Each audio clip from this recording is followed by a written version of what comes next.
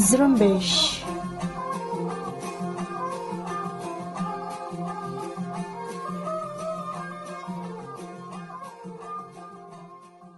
ये रेडियो जुरम्बेश उर्दू की आवाज़ है आज फरवरी की दो तारीख मंगल का दिन और साल 2021 है और मैं हूँ आपकी मेज़बान सारिन बलोच। रेडियो जुम्बिश के आज के न्यूज़ बुलेटिन में बलूचिस्तान समेत इलाकई और आलमी खबरें शामिल हैं। सबसे पहले पेश खदमत है बलूचिस्तान से मुतालिक खबरें।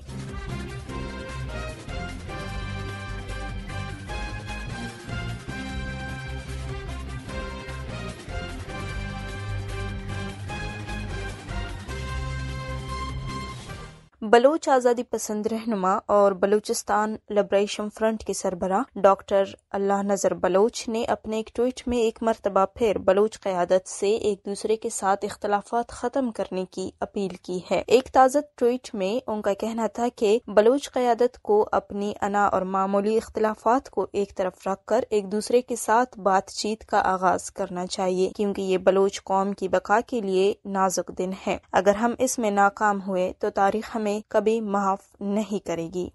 बलोच नेशनल मूवमेंट के मरकजी तर्जुमान ने बरामदा बुगटी की हमशीरा शहीद जामर बुगटी की नबे योमी शहादत पर उन्हें खराज अकीदत पेश करते हुए कहा कि शहीद गुहार जामर बुगटी एक आम घरेलू खातून नहीं, बल्कि तहरीक में मुतहरिक किरदार थे। उन्होंने पाकिस्तानी बरबरीत के शिकार बलोचों को हर मुमकिन मदद फराहम की और उन्हें तहफ़ का एहसास दिया। यही वजह थी कि आज से नौ साल पहले इकतीस जनवरी साल दो हज़ार बारह को पाकिस्तानी रियासती अनासर ने उन्हें उनकी बेटी जानान और ड्राइवर बरकत के साथ कातलाना हमले में शहीद किया। बीएनएम तर्जुमान ने मजीद कहा कि बलूच समाज में खातन का किरदार हमेशा काबिल फ़खर रहा है और शहीद जामर बुकटी जैसे किरदारों ने इस फ़खर को कायम दायम रखा हुआ है।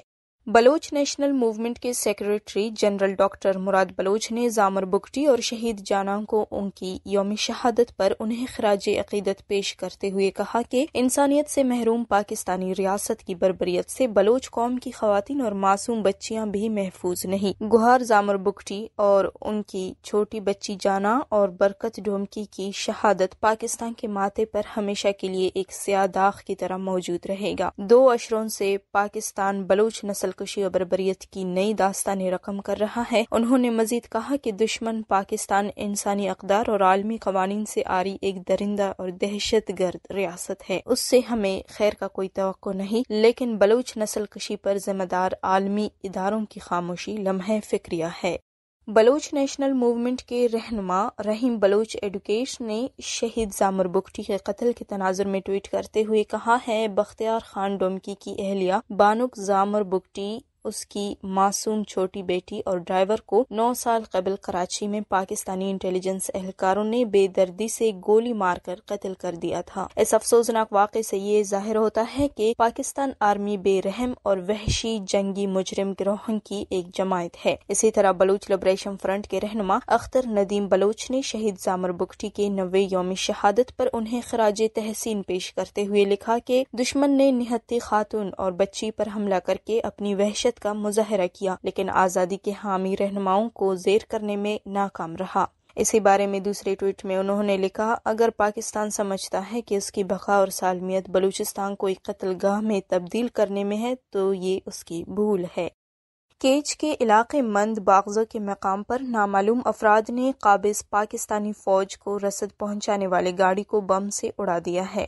इब्तदाई तौर पर हमले में दो काबिज एहलकार जख्मी होने की इतलात मिली है। दूसरी तरफ़ बलूच लिब्रेशन टाइगर्स के तर्जुमान मीराम बलूच ने इस हमले की ज़िम्मेदारी कबूल करते हुए कहा है कि टी के सरमचारों ने केज के इलाके मंद में बागजो के मकाम पर पाकिस्तानी फौज की चौकी से बीस कदम के फासले पर राशन पहुँचाने वाली गाड़ी पर बम हमला किया। बी एल टी तर्जुमान ने कहा है कि हमले में पाकिस्तानी फोर्सेस के मुताद एहलकार हलाक और जख्मी हो गए। केज के मुख्तलिफ़ इलाकों में काबिज पाकिस्तानी फौज ने रात को गैर एलानिया कर्फ्यू नाफिज करने का सिलसिला शुरू कर दिया है, जहाँ लोगों को रात को रोशनी करने और मुकर्रा वक्त के बाद बाहर निकलने और दुकानें खोलने की इजाज़त नहीं। इसी तरह मंद के गाँव गोबर्द में काबिज पाकिस्तानी फौज ने गुजशत दिनों लोगों को तलब करके जहनी अजियत का निशाना बनाया है और मगरब के बाद घरों से बाहर निकलने और दुकानें खोलने की सूरत संगीन नतज की धमकी दी है। रेडियो जुम्बिश के नाम निगार ने इदारे को फराहम किए गए नोट में कहा कि यकम फरवरी के दिन अलल सुबह फौज की भारी नफरी गाँव में दाखिल हुई और घर घर तलाशी ली गई। बादजा गाँव के लोग जबरन गोबर्द हाई स्कूल में जमा किए गए और लोगों से बंदूक के ज़ोर पर पाकिस्तान के हक और आज़ादी की मुखालफत में नारेबाजी करवा कर उसकी रिकॉर्डिंग की और पाकिस्तान की हिमायत और आज़ादी पसंदों की मुखालफत करने की शर्त पर गोबर्द में इंटरनेट बहाली की लालच भी दी गई। ज़बरदस्ती जमा किए गए लोगों को काबिज पाकिस्तानी फौज के अफसरान ने कहा है, वो शाम छह बजे के बाद घरों से मत निकले। अगर किसी ने हुक्म की खिलाफ वर्जी की तो उसे गोली मार दी जाएगी। दुकानदारों को धमकी दी गई कि वो सरमाचारों को राशन सप्लाई मत करें। काबिज फौजी अफसरान ने दावा किया है कि उन्हें इतला मिली है कि दुकानदार बलोच सरमाचारों को राशन फराहम कर रहे हैं। अगर ये खबर सच हुई तो तमाम दुकानों को जला डालेंगे। उन्होंने लोगों को कहा है कि वो सरमाचारों के घरों में जाकर उनको हथियार डालने की तरगीब दें।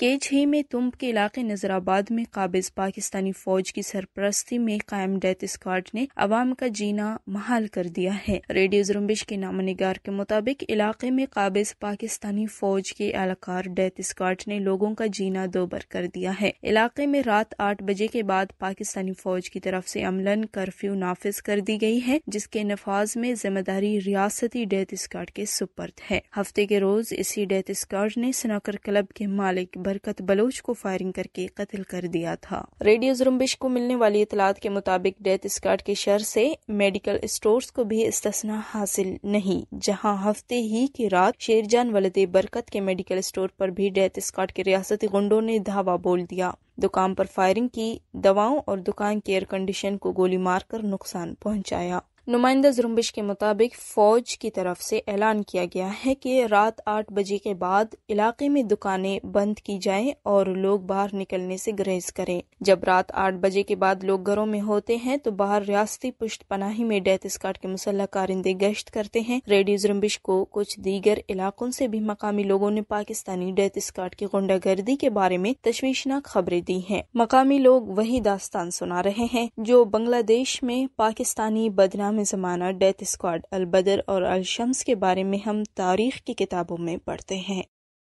कोयटा शेख जैद अस्पताल से सरकारी मुलाजिम अब्दुल कादिर मरी को दौरान ड्यूटी 28 जनवरी साल 2021 की शाम, काबिज पाकिस्तानी फोर्सेस के एहलकारों ने जबरी तौर पर लापता कर दिया है। अब्दुल कादिर मरी के लवाहकिन का कहना है, शेख जैद अस्पताल की इंतजामिया हमसे कोई तावन नहीं कर रही और न ही दीगर मुलाजमीन अपने साथी मुलाजिम की बाजियाबी के लिए किसी एहतजाज के लिए तैयार हैं। उन्होंने शेख जैद इंतजामिया से अपील की है कि अब्दुल कादिर मरी की बाजियाबी के लिए लवाहकिन का साथ दे। लवाहकिन ने पाकिस्तानी आला हुकाम और चीफ ऑफ़ आर्मी स्टाफ से अब्दुल कादिर मरी को बाजियाब करने की दरख्वास्त की है। पैरामेडिकल स्टाफ के तर्जुमान ने भी सोशल मीडिया पर कादिर मरी की अगवा की तस्दीक की है और कहा है कि कादिर मरी शेख जैद अस्पताल में बतौर नाहब कासिद अपनी ड्यूटी सर अंजाम देकर अपने घर जाने की तैयारी कर रहे थे। ऐनी शाहिदीन के मुताबिक शाम आठ बजे के करीब नामालूम अफराद एक गाड़ी में अस्पताल के रिहायशी एरिया से उन्हें उठाकर ले गए।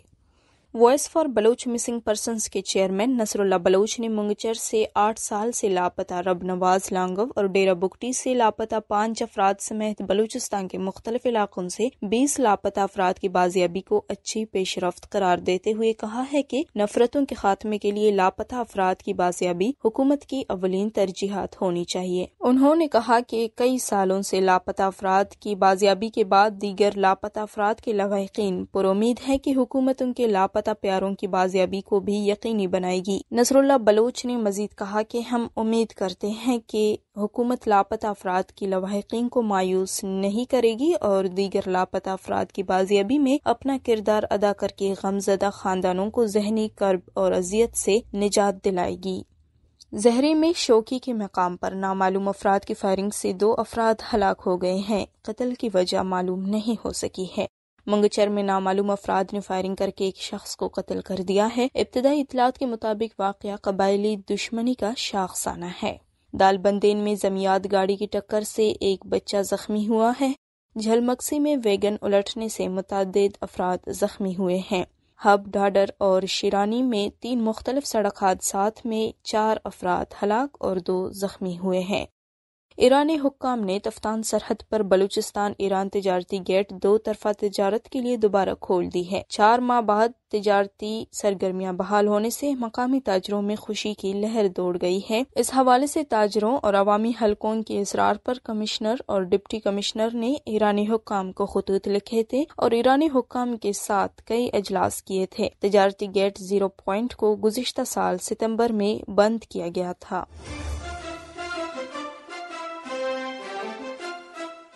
और अब इलाकई और आलमी खबरें पेश करेंगे दोस्तिन Murad Bloch.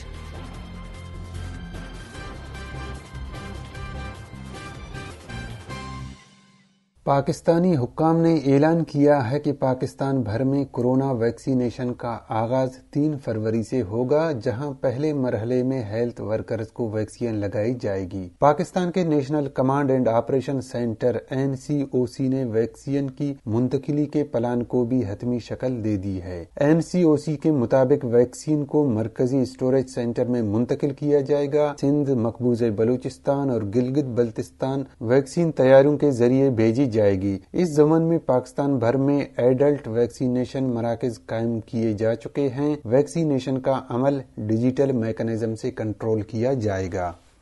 North Atlantic Treaty Organisation NATO ने कहा है कि तालिबान के साथ अमन मुआदे में तय पाने वाले डेड लाइन मई के बाद भी अफ़गानिस्तान में गैर मुल्की अफवाज मौजूद रहेंगी। खबर एजेंसी राइटर्स की एक रिपोर्ट के मुताबिक नेटो ने कहा है कि अप्रैल के अख्ताम तक इतिहादी अफवाज का मुकम्मल इनखला नहीं होगा। रिपोर्ट के मुताबिक इस फैसले के बाद तालिबान और अमरीका के दरमियान कशीदगी में इजाफा हो सकता है। एक नेटो अहदेदार ने मामले की हसासियत के बायस शनाख्त ज़ाहिर न करने की शर्त पर बताया है कि माहे पर अमल दरामद नहीं किया गया और अमरीका की नई इंतज़ाम इंतजामिया पॉलिसी में रद्दोबदल करेगी। उनका कहना था कि जल्दबाजी में दस्तबरदारी का जो तासर मौजूद था, इसको खत्म कर दिया जाएगा और हम इनखला की मजीद मौसर हमत अमली देख सकते हैं।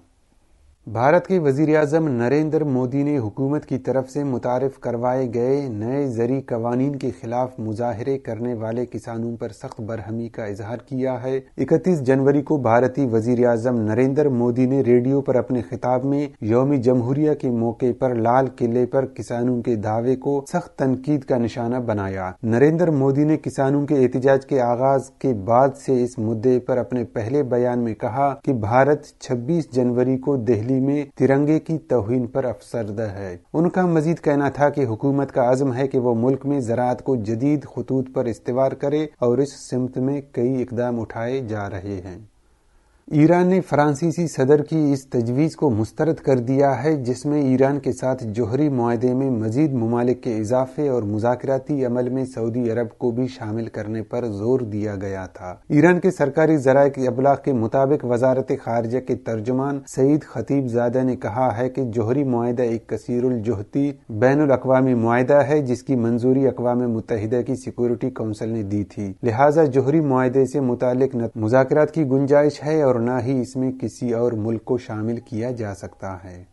म्यांमार की फौज ने बरसर इकतदार जमायत नेशनल लीग ऑफ़ डेमोक्रेसी की रहनमा आंग सान सूची और दीगर रहनुमाओं को गिरफ़्तार करके मुल्क की हुकूमत संभाल ली है। ये बगावत इंतबात के बाद सिविलियन हुकूमत और फौज के माबेन कशीदगी के नतीजे में हुई है। आंग सान सूची और दीगर रहनुमाओं की गिरफ्तारी के चंद घंटे बाद म्यांमार की फौज ने टीवी पर आकर एक साल के लिए हंगामी हालत का इजहार किया और कमांड इन चीफ को इख्तियार सौंप दी। वाज रहे की बर्मा में नवंबर नवंबर में होने वाले इंतबात में एन एल डी ने हुकूमत बनाने के लिए दरकार नशस्तें हासिल कर ली थी। ताहम फौज इंतबात के नतज को तस्लीम नहीं कर रही थी।